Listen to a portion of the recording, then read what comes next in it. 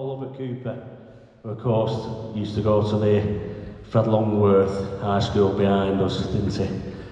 Wonderful arrangement, sorry, wonderful com- composition.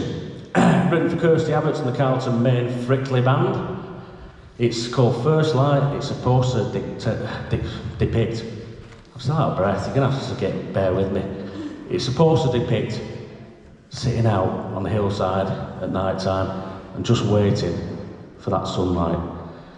You'll get a real good feel for that, that description once you hear it. It's gorgeous. And it's played equally as gorgeous. Put your hands together for John Taylor.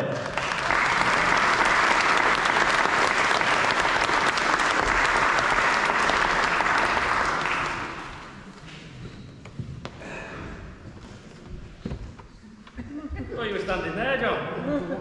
Oh.